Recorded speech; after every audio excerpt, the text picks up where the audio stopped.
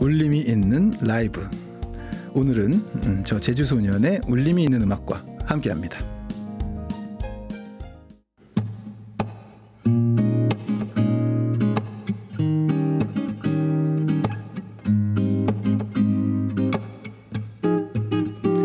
왠지 너는 기분 좋게 그냥 그렇게 이불 속에 있을 것 같아.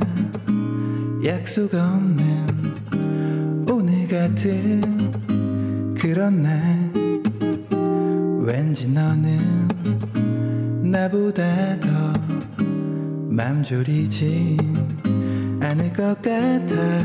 문자에도 카톡에도 그저 시큰둥. 우우 웬일인지 난 웃음이 나.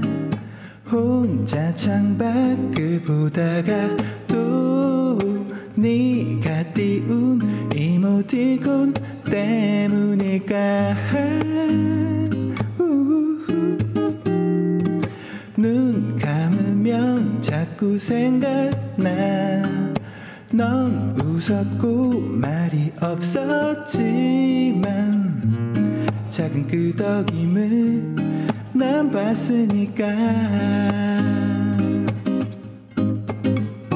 왠지 너는 작은 공원 강아지랑 산책할 때 딴 남자가 말을 걸 것 같은데 음. 왠지 너는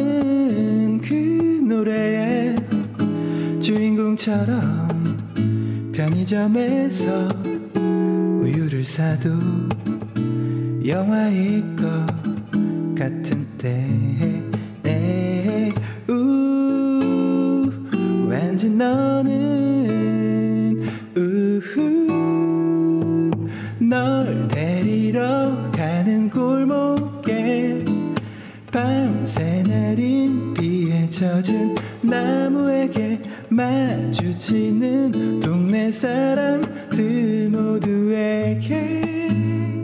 우우후.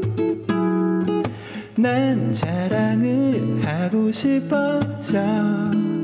세상에서 제일 행복한 남자라고. 저기 다가오는 내 손을 잡고. 휘